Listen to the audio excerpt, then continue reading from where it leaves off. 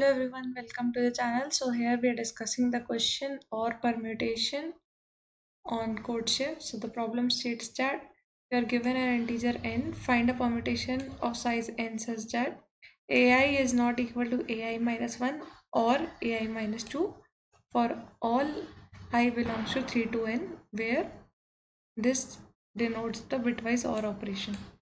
It is guaranteed that such permutation always exists. If multiple such permutations exist, you may print any. Note that permutation of size n consists of all integers 1 to n exactly once. And we have input as t and n the size of the permutation. We need to output n space separated integers denoting the permutation satisfying the conditions. And it is guaranteed that such permutation always exists if multiple such permutations exist, you may print any. So for the first test case, as you can see, we have length of 3. So we have basically 1, 2, 3. So in case of 1, 2, 3, you need to have a permutation such that a of i is not equal to a of i minus 1 or a of i minus 2 now if you see here if i put i ranges from 3 to n and we have maximum i as 3 so here a3 is not equal to a2 or a1 they should satisfy. Now if you take a2 and a1 that is 2 and 1 so if you take or of 2 and 1 so 2 is written as 1 0 and 1 is written as 0 1 so the output would come as 3 now hence this permutation is not correct. Now if you take 1 3 2 so we take 1 and 3 the OR of 1 and 3 is 3 which is not equal to 2 hence this permutation is correct. Now in case of 4 we have 1 2 4 3 so here we can check for a3 and a4 so for a3 we will check a1 and a2 so 1 and 2 or is 2 no issues. Next 2 and 4 for 2 and 4 or will be 4 no issue. It is not equal to 3 that's it.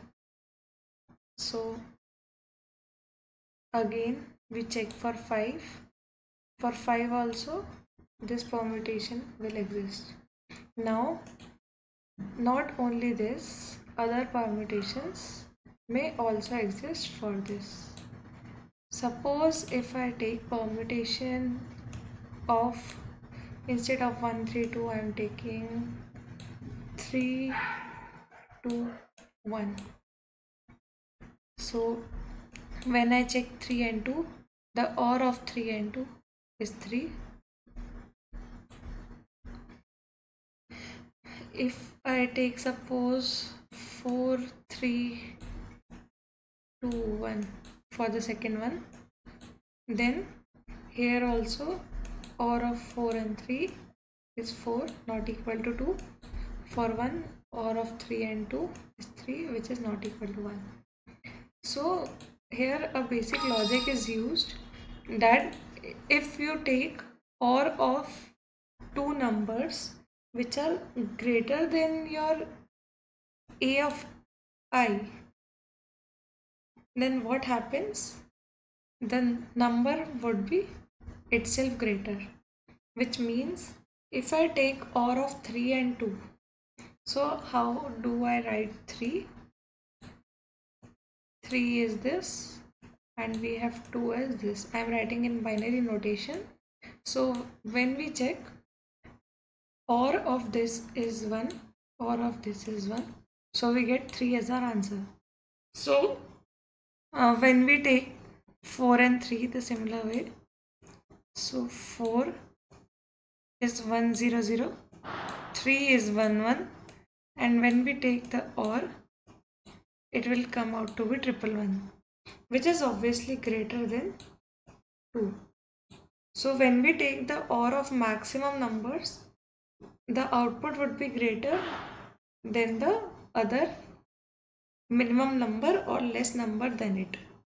Hence it this problem has a direct solution. So what is the direct solution here? Just you can write the list. Suppose i have 1 2 3 and i will reverse this list. So it will be changed to 3 2 1 and 3 to 1 would be my output. Like this for this i have 4 3 2 1 and for this 5 4 3 2 1 so basically what i am doing i am taking the list of 1 to n and reversing it and that will be my output. You can check this and perform the OR operations so you understand it in a more better way. So i hope you all understand this solution thanks for watching